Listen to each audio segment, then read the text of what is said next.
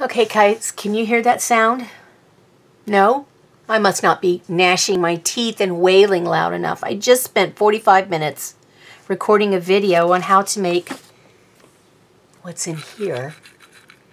Went to um, delete one small scene and it deleted 45 minutes worth of videos and everything else that was on my SIM card. Okay, and today's not even Friday the 13th.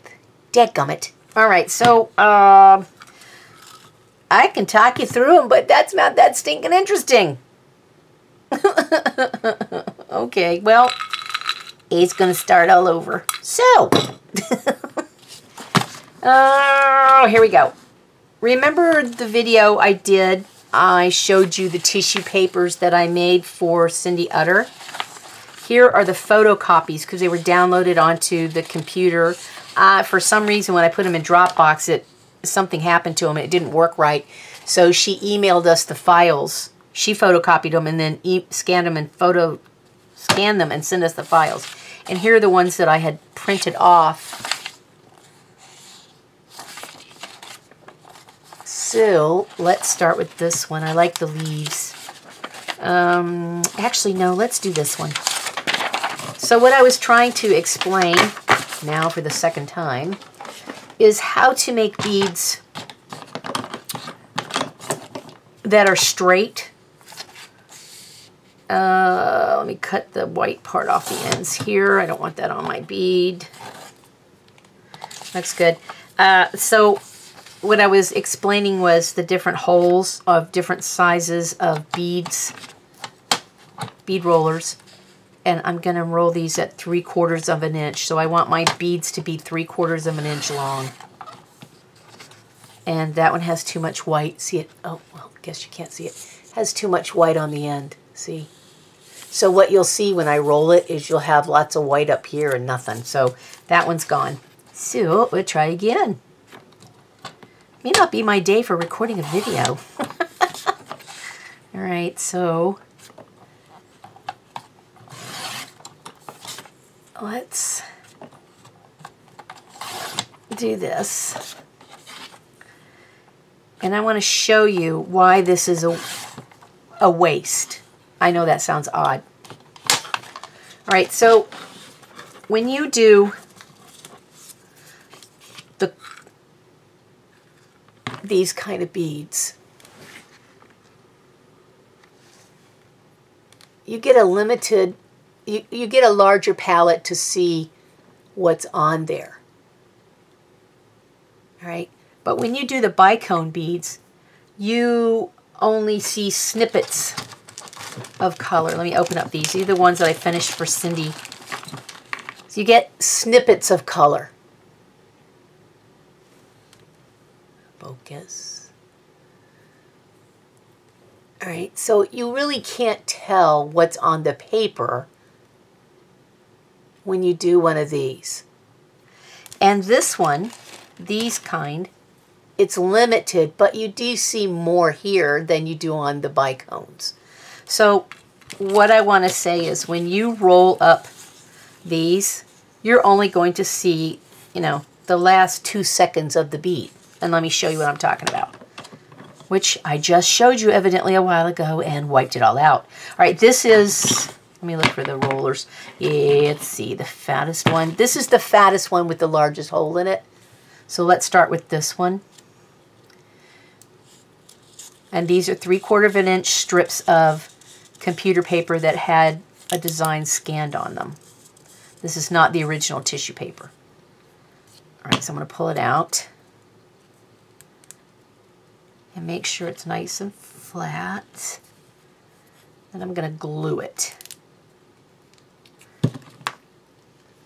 I'm just looking up to make sure the camera's recording after my last snafu. I smooth the glue out. I don't really like using um, stick glue for these because I don't think it sticks very well, although the way things have been going lately, nothing's doing well. All right, so there you go. See, you're only going to see the last snippet.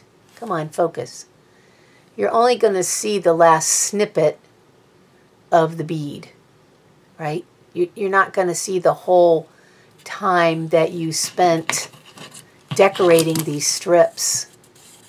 The bigger the hole, the more of the picture you're going to see.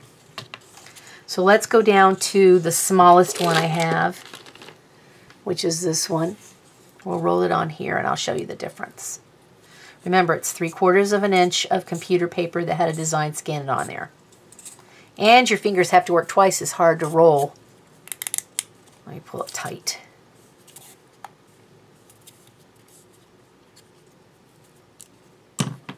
And pinch it. And then I'm going to put the glue on the end.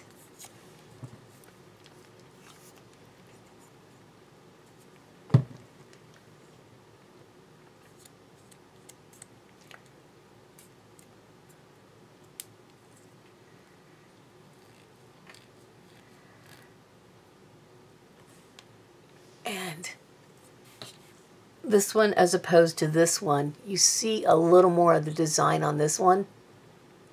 Not by much. There's the whole difference. So if you're giving beads to a mixed media person, a lot of them like to use yarn or thicker thicker fibers to tie the beads onto their journals. So I try to do it with a little bit larger hole. I prefer the smallest hole because I was uh, I made jewelry. And so I like for the holes not to be huge because that means less water that you can get in them. If you're making a bracelet you know the smaller the hole less chance it is you'll get something saturated by washing your hands. So here we are with these two. Come on come on. All right so there you go. So you're so to me this is a waste. So let me show you something more wonderful. So what I'm going to do is I'm going to take my paper cutter and back you out so you can see what on earth I'm doing. Take my paper cutter. Here's a plain piece of computer paper. I'm going to do three quarters of an inch again. And I'm not going to put anything on the paper except on the last smidgen of it because you're never going to see the rest of it because this is all going to be rolled up into a giant circle or a giant cylinder. So let's take this. Let's see what we can find. I need a fine line here. I'm going to draw Sorry, I'm out of frame. I keep forgetting I need to go forward.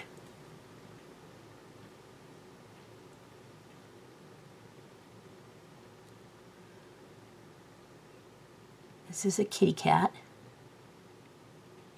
on the very end of the bead. All right. There's just no point doing some big to-do on the bead because you're going to miss all of it.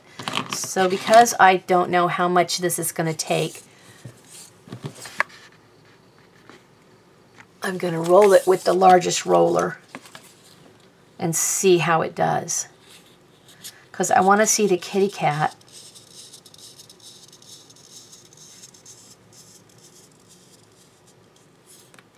But I'd also like to see more on the other side too. I would like for it to go around. So what I have here is, I have the cat. Whoops. Okay, so Let's go down to the next roller. Okay.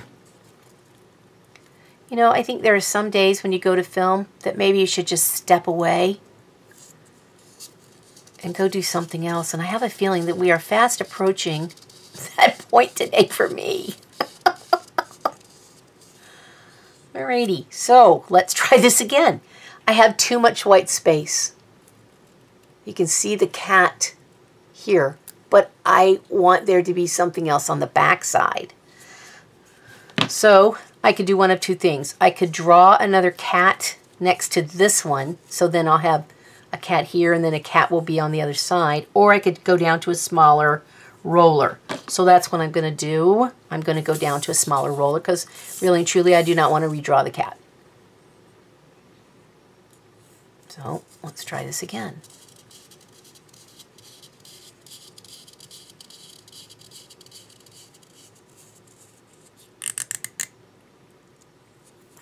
Pull it off and see what we end up with here. And again, now you you can see the cat, or not. you can see the cat. But if you glue it down, you're also going to see a lot more white there. So,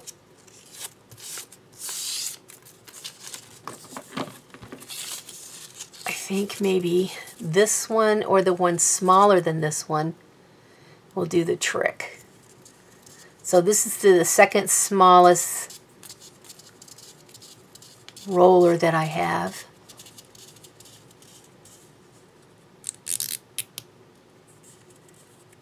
And even though I'm down to the second smallest roller, I still have a large gap right there where it's white. There's the cat. And I think that even if I roll this one, because I'm trying to prove a point, so this is why I keep doing this, I think that even if I roll with the smallest roller, I'm still going to have a white gap. And I may have to draw another cat on there.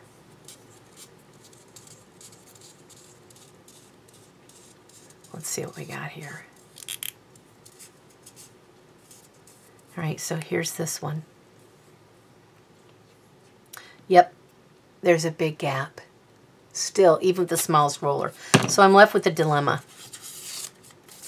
Do I want to draw another cat? No, not really.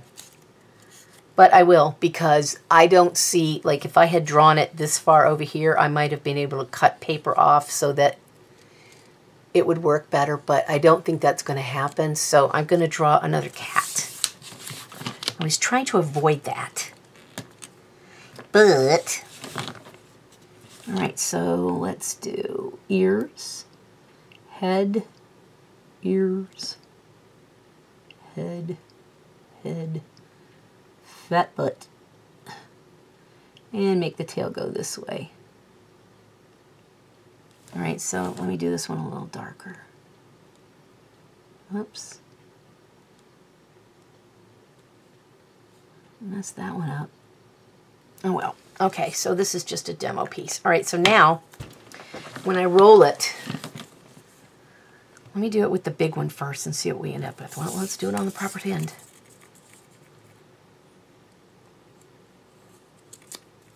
Uh-huh. Okay. Pay attention. Alrighty then. Mm, mm, mm.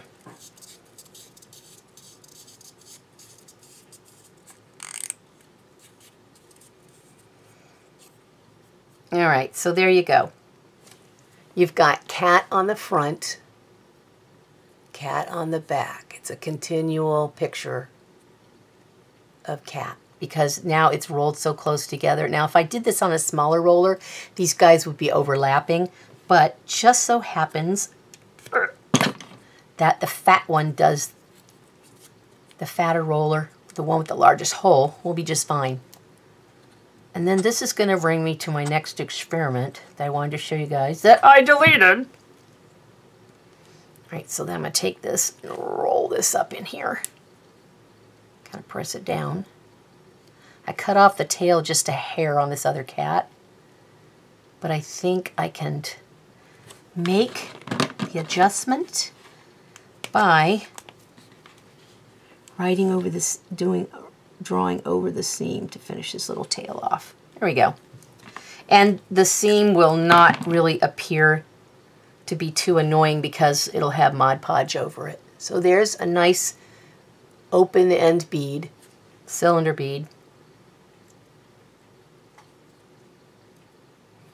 with two cats on it that go all the way around the bead, where you didn't waste your time um, decorating the rest of the paper when truly, you know, you don't need to spend time doing this unless you make a different kind of bead. But you only need the last, I don't know, not even an inch, maybe half an inch to three quarters of an inch is all you actually need of this. And why waste your ink decorating that or paint, paint decorating the rest of this when you're never going to see it? The only time I would say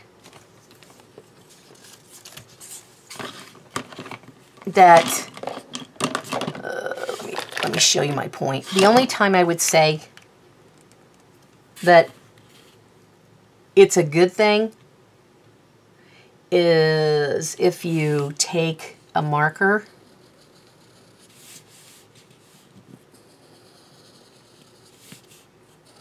and you marked along the edge as best and straight as you can. Although, like I said, and many times that's not really going to be a, an issue because it's rolled up on each other and you really can't see how straight or crooked it is. All right, so let's do, let's do black on this end, which will be the very end of the bead. No, let's not. let's not do that. Be my stinking luck, it'll turn out icky. So let's just do a very thin line. There we go. And then I'm going to run this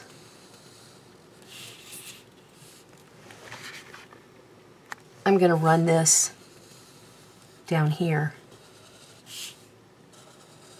You. And you don't need, on the end that you're starting on, you don't need to put any black ink on there. Save your pen. All right, let's see how this goes. All right, so this is the third from the bottom. It's like my middle, middle roller for the whole size. It's kind of in, it. it's in the middle.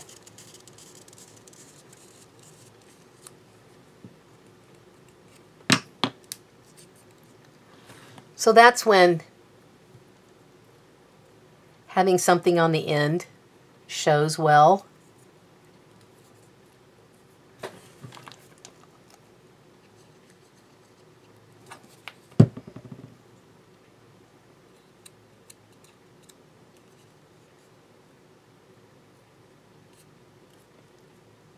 All right, so here we go. Let me bring you in a little more.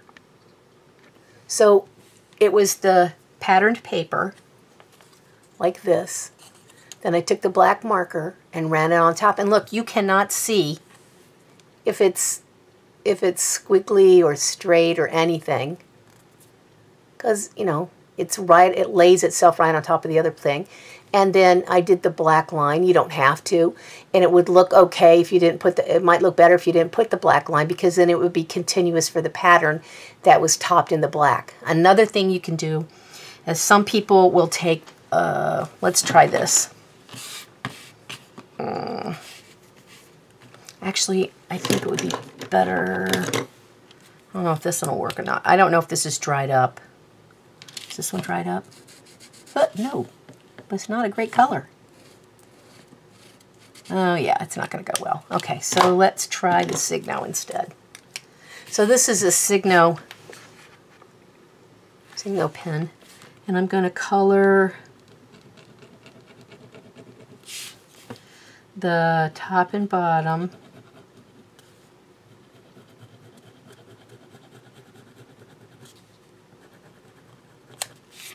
I'm not not going to smear it if I can help it. All right, so let me make this a shorter bead. No, let's not. Okay.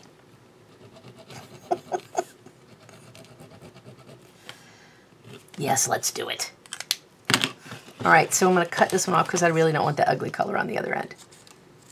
And so I will roll this one on a smaller roller because I'm not going to get the effect I'm hoping for if I put it on a large one. So let's do the small one.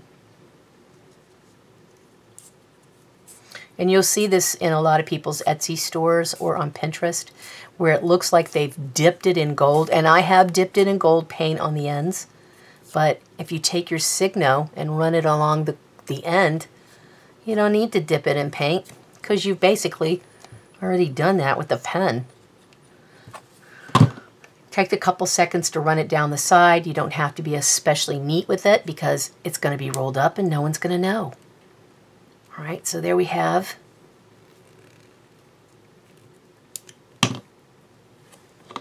a gold tip. Focus, focus. A gold tip bead. Come on, focus, silly thing. That'll be a gold tip bead. And then you have the black tip bead. And there you go. It's a fancy bead that took like little or no effort to make. Truly, they are super duper easy to do. All right, so what else was I going to show you today that I filmed and deleted? Um, okay, uh, let's, let me stop this and look for what I'm looking for, and then I will come back. Okay, so this is not ideally what I wanted to show because I thought I picked out the nicer ones earlier and then deleted it. So what I'm doing is I'm taking a postage stamp and I am peeling it off of the paper. Someone nicely stuck on there. And it's very thin, and that's great. I'm glad it's thin. I don't like this woman up here in the corner. I don't want her on my stamp. And I really don't want the ridges, so I'm going to slice the ridges off. I'm going to cut her head off and the 19 cents that was on there. Whoops, I'm going to cut more than her head off. There we go. All right. Then I'm going to cut a little off of here. And I'm going to cut the name of where this place is in France. and now I've got this nice little picture. It's going to look great on the end of a bead. So in order for me to put this on the end of the bead, what I'm going to do is I'm going to take a white sheet of paper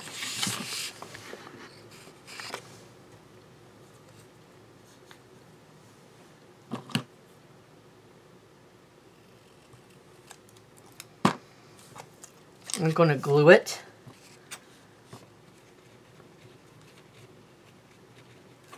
Not a lot of glue. Try not to get too glue heavy. Sometimes I get a little heavy handed with the glue. All right, so I'm going to take this I'm going to flip my paper over since I got glue on the other side. I don't want it on there. And I'm going to lay it on the end of the paper. Give it a nice press down. I'm going to take the paper cutter and I'm going to line it up in the paper cutter so that I only cut the width of the bead the same width as the stamp. So let me make sure I have this in here straight. I don't want, it's about an inch. How, how did that happen? Hmm. It's the miracle. I use one of those when I deleted all my stuff off. All right, so we're gonna hang with the one inch. And I did trim a little off the bottom, so it's okay. All right, now because you're only gonna see the last portion of this, I wanna see, just like I tried with the others, I wanna see how much of the end I'm gonna see. So I start on the end that's white, that no one's ever going to see. Roll.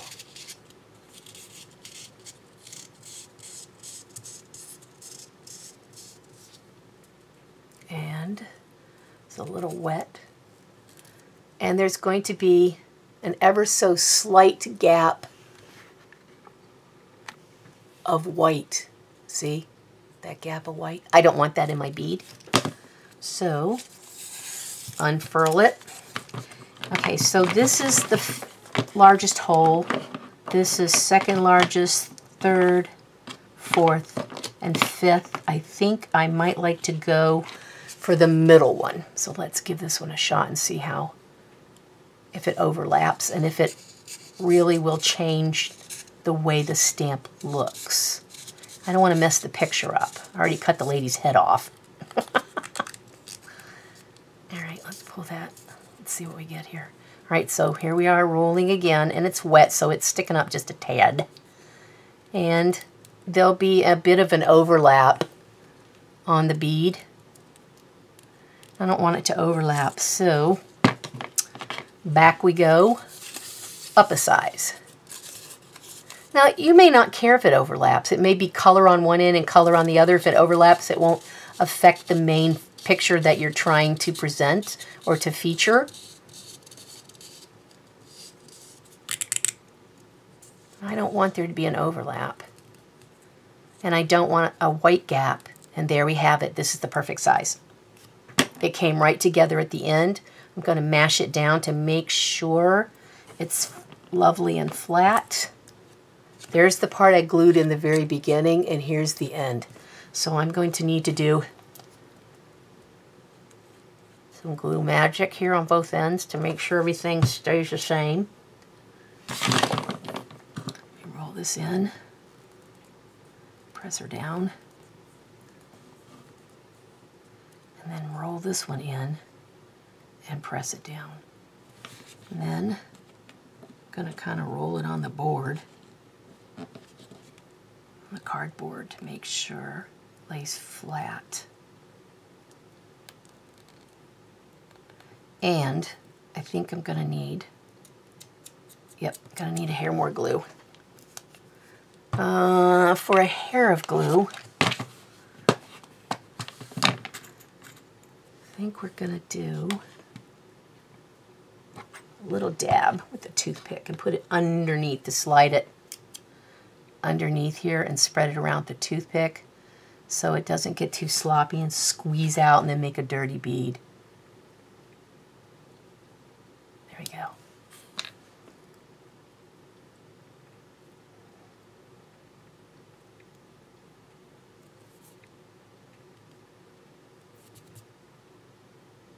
All right. And there you have it. A lovely scene that you did not have to draw because I am not a drawer. Well, maybe just a teeny bit, but not a lot. All right, so there's a bridge over a lovely gorge somewhere in France.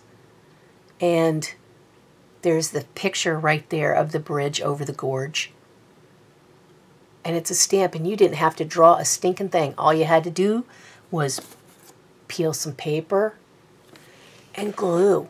And yes, you will have to fool around with it just a hair to make sure that, you know, it meets in the middle down here. And you'll have to fool around with the hole, which determines how much of the stamp you're going to get to see. Pretty cool, huh? I just love the way this looks. Anyway, so I did this earlier with a heart, a heart stamp. Well, my fingers are dirty, I'm sorry. Um, a heart stamp, which went all the way around. And it was white. And I did shave some of the white off, but here's the heart and there's the heart. So it's not that much. Then I did a butterfly. Here's the butterfly bead. And I got it for, I got it to match wing to wing by just shaving a little off the stamp and making sure I used the right side roller. This one took the giant roller. Then I did this one, which was a star. And it met, but what I should have done was shaved off a little white off the stamp for the, the outline of the stamp. Although the stamp does meet in the middle, I don't like the white stripe going up the middle. But that's cool. So there is how to roll beads without wasting a lot of your time drawing or wasting a lot of your ink drawing. Use a postage stamp. Use a pretty piece of paper. Cut something out of a magazine and just do it on the end of a piece of paper. It turns out beautifully. All right, everybody. So I think I've recouped and redeemed myself for messing up my video. so I will see you guys in the next one. Bye.